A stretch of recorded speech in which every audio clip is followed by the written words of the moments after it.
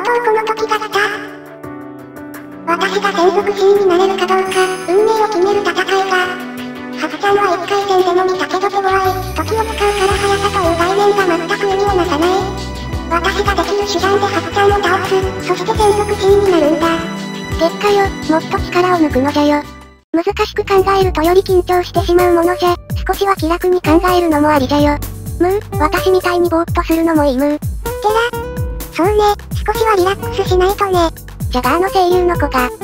せいも喜ぶじゃろうな。せい、誰それ白の母親じゃよ。今は隠居して香川の竜王山におるんじゃよ。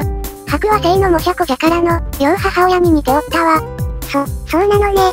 結果よ、少しわしのわがままを言ってもいいかのえ、いいけど。気合十分だね。これは私も相当な覚悟をしないとね。私ママのために頑張るよ。そうね、私も月下様のために全身全霊かけますよ。珍しい、プルート、集中してる。アヌが攻撃の要になるアヌ、アヌがしっかりしないとアヌ。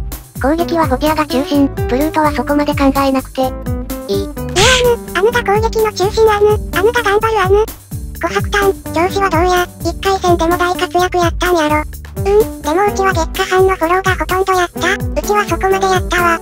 それでいいんや。月下班はうちらの力を最大限まで使ってくれる。うちらはその月下班をフォローする。それで力を合わせていけばきっと世界一になれるはずや。そうやな。でも今月が真面目なこと言うとなんか気持ち悪いな。はっはー、琥珀炭は手厳しいな。うちは守備系担当。うちの教師で月下班の守備面が決まるんや。月下班の夢のためにもうちがしっかりフォローせなあかん。2回戦、月下ちゃん。私はずっと月下様を見守っていたから月下ちゃんは本当に小さい頃から知ってる。私にとってもすごくお姉ちゃんのような存在、そして敷地内の中で最も優秀であり、高めの存在。少なくとも私にとっての月下ちゃんはそういうイメージ。1回戦も無傷で勝利した、あれが全てじゃないっていうのもわかる。だからこそ、私も出し切らないといけない。勝つよ、絶対に。私の全てをかけて、集中できてるわね、吐く。どう調子は、ベストコンディションで挑めそううん予選の時からこの時をずっとイメージしてたから。コンディションは問題ないよ。私と月下も応援はできないけどベストを尽くしてね。うん、これは私と月下ちゃんとの戦いだからね、見守っててほしい。この勝敗で月下お姉ちゃんが専属 C になるかならないかが決まるんだね。どうしようすごく複雑な心境だ。月下お姉ちゃんに勝ってほしい。でも白もすごく努力してた。だから報われてほしい。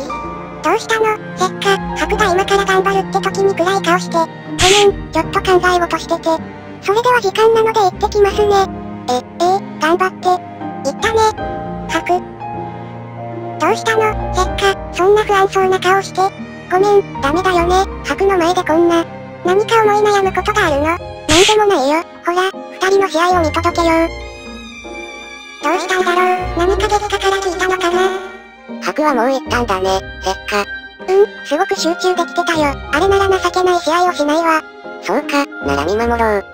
さあ、もうすでに出場しているのは1回戦。この私を倒した白選手です。中継前にすでにスタンバイし、集中力を高めております。これは今回の試合も気合十分。この試合ではどこまでの戦いを見せてくれるのか。楽しみです。この時が来たよみんな。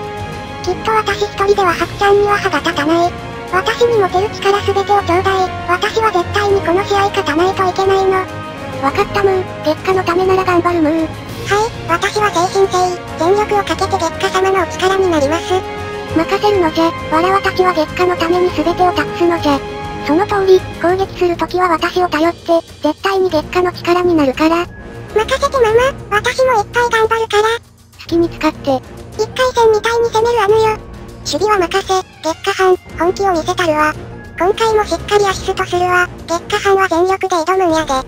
みんなありがとう。きっとあなたたちを酷使する、非道で無茶な使い方をするかもしれない。でもその代わり絶対に夢を叶えるから。それじゃあ行くよ。みんな私の中に入って。さあ、現れました。引き月下選手です。1回戦では前年度ベスト8のビリアン選手に無傷の完全勝利を収め、2回戦に駒を進めました。なんといっても多彩な能力とずば抜けた頭脳、この武器を使って白選手相手にどう戦い抜くのか。両者で揃いました。それでは2回戦第引き月下戦士対白選手。試合開始時空支配タイムストップ。こうしてたくさん策を考えてきたんでしょ。でもそれは一瞬の出来事にまで対応できる。時空支配、次元弾空戦。さあ、まずは月下ちゃんの力量を見せて。はい。月下さん、あか？ん。あかん。悪いな月下班、うちが遅れたせいで。気にしないで、行列がカバーしてくれなかったらあの一撃で勝負がついてたかもしれないから。かわしきれなかったね。ならもうこのままおしまいだね。幻滅だよ、月下ちゃん。時空支配、国戦。国戦の1秒あたりの斬撃は約10万撃。パト君にはショックが大きいけどそのまま粉々になれ。T シャツ、まさか EC で月下選手を見るものどんな姿に、これは決着かあかん、悪いな。月下班でやけどたくさん受けたおかげで斬撃耐性と自己作補正を作れたから渡しておくな。頑張ってや。すごいね。それ。計算外だわ。まさか開始早々強烈がやられるなんて。でも強烈の大聖支配とカゴ支配のおかげでハスと戦える手段を手に入れた。無駄にはしないどんな手段かわからないけど、回復するなら何度でも倒すまで。時空支配国、両物が繋いでくれたんだもの、もう同じ技なんて通用させないわよ。見て目でもう私の攻撃の対策を、そんな生優しい技じゃないのに。でもまあ、それがどうしたって話だけど、時空戦国戦へ。ゼロ点、ゼロ以上からの強化力の権利、それに加え、時操作による時間圧縮、何体制の反射神経では止めれない。もう一度首をもらう。いないかわされた遠くから気配。吐くよ、少しは一手合わせをしようではないか。わしのわがままでの月下の体の主導権を一時的に譲ってもらったのじゃ。吐くよ、わらわと戦え、今一度お主の力量をわしが見定めてやるのじゃ。敵様、どういうこと同じ元詩人としてどちらが上か決着を決めようではないか。わらわに勝てないようで月下に挑もうなどと思わぬことじゃの。そういうことですか。ずっと月下ちゃんからは複数の気配を感じると思ったんです。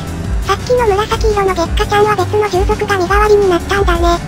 月下ちゃんの中に一体どれほどの従属がいるかわからない。だから敵様にどこまでの力で挑めばいいか。来るか。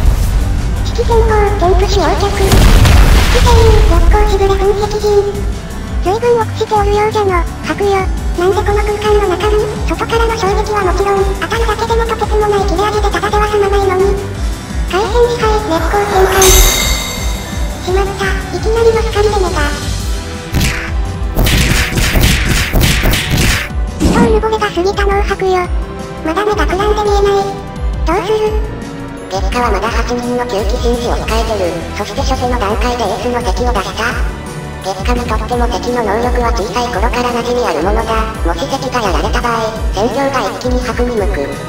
だけど敵の段階で白に致命傷を与えた場合、残り7人と月下で押し通すことが可能。この勝負、今後の展開に大きく影響するぞ。白、結果。